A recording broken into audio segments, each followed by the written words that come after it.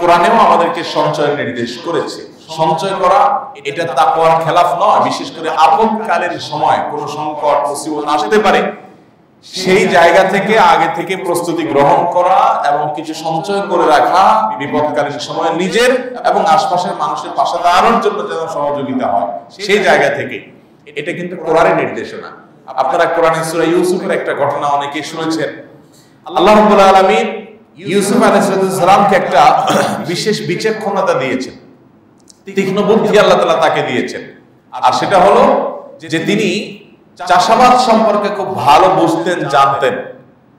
তো মিশরে যখন তিনি দায়িত্ব প্রাপ্ত ছিলেন মিশরের কৃষি বিভাগের, এবং এই রিলেটেড জিনিসগুলো দেখভাল করার দায়িত্ব যখন তার উপরে আসলো, আল্লাহ নবী ইউসুফ আলাইসালাম আল্লাহর একজন নেককার বান্দা বা একজন বান্দা স্বপ্নের ব্যাখ্যা করতে গিয়ে তিনি বের করেছেন, আবিষ্কার করেছেন যে একটা দুর্ভিক্ষ আসছে, একটা সংকট আসছে।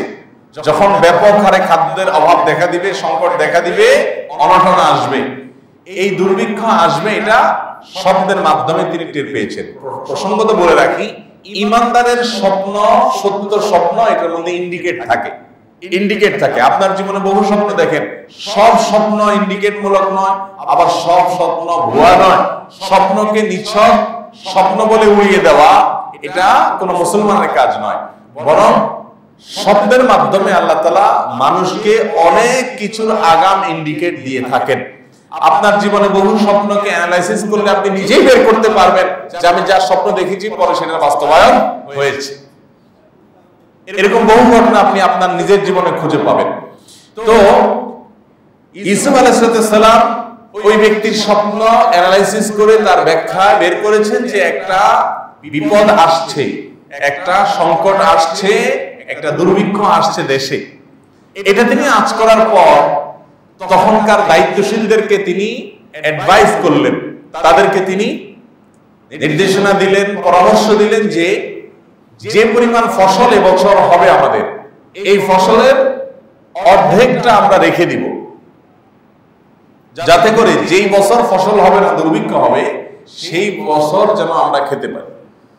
এই যে পরবর্তীতে সংকট আসতে পারে, এটি আঁচ করার পর আগে থেকে মিতব্যয়ী হয়ে, কম খরচ করে, সঞ্চয় করে আপদকালীন সময় নিজে এবং আশপাশের মানুষগুলোর দিকে যেন লক্ষ্য রাখা যায়, মানুষ উপকার যেন করা যায়, সেজন্য সঞ্চয় করাটা এটা দোষণীয় না। বরং কোরআনের সূরা ইউসুফের এই ঘটনার আলোকে এটা কোরআন কর্তৃক নির্দেশিত। আমাদের সমাজে, বিশেষ করে যখন সুদিন আসে, তখন আমাদের হুশ থাকে না। খরচ করতে করতে করতে করতে আমরা লাগামহীন হয়ে পড়ি। সঞ্চয় নিজের প্রয়োজনেও করার দরকার আছে, এটাও আমরা ভুলে যাই।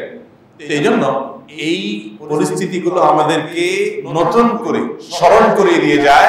আল্লাহ এবং তার রসুল সাল্লাহ সাল্লাম যে আদেশ এবং নিষেধ করে গেছেন, সেগুলো আমাদের কল্যাণার্থে করে গেছেন। আমাদের বুঝে আসুক অথবা